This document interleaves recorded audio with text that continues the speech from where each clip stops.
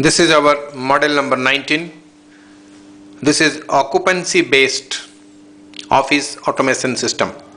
For example, once the people start coming to office, the number will go on increasing and will indicate how many people are there inside and uh, the light also will be switched on once the first person enters. And once the people start coming out of the office, it will indicate the number of persons coming out and finally when the all the people are coming out then the lights will be switched off. We will see this. Now the number is 00 zero. now supposing the first person starts entering. The first person enters and you find the number is advanced to 1 and the light is on.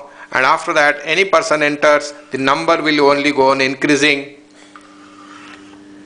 The number goes on increasing. You can see the number goes on increasing as the persons enter the number will go on increasing. And it will go till 99 because it's a two digit number. And but then of, after some people starts coming back once they're coming the number will also start decreasing.